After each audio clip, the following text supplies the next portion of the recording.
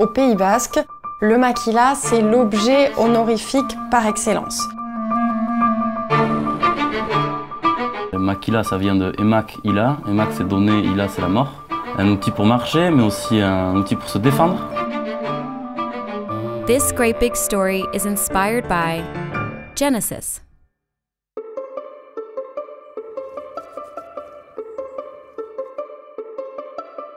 Je m'appelle Lisa Bergarin et je suis la septième génération de ma famille à fabriquer des maquilas. Maquilas are, at their most basic level, walking sticks. But really, they are much more than that, and their history is incredibly old. Donc en fait, on ne sait pas l'origine exacte de l'objet, c'est un mystère. Par contre, on a des écrits, on a des documents iconographiques à partir du 19e siècle These sticks are incredibly ornate and all handmade. From leather to metalwork, these maquillas are works of art.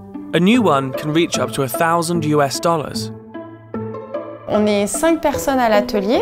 Donc il y a Maï qui travaille le cuir, il y a Chabi qui travaille le métal. Ensuite vous avez Shimoun et Frédéric qui va s'occuper de tout ce qui est pointe. Et puis enfin moi, donc Lisa, euh, moi je m'occupe de la partie gravure. Completing the handiwork for each maquilla typically takes only a few days, but one of the most important parts is the wood, which can take over a decade to mature. Donc on a euh, des plants de néflier qui ont été plantés par mon arrière-grand-père et le néflier c'est ce bois qui permet de donner des maquillas.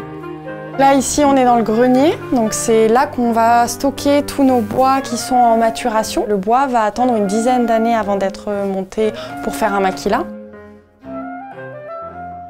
En 2011, on a été inscrit à l'inventaire des métiers d'art rares de l'UNESCO. Most maquilas are made to celebrate achievements. Some notable recipients include Charlie Chaplin, Pope John Paul II, US President Ronald Reagan, and many others.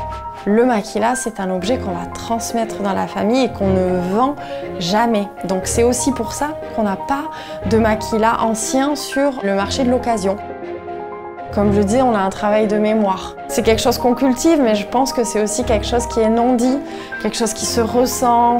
C'est nous aussi cette passion qu'on a et que j'espère on arrive à transmettre aux gens qui viennent visiter.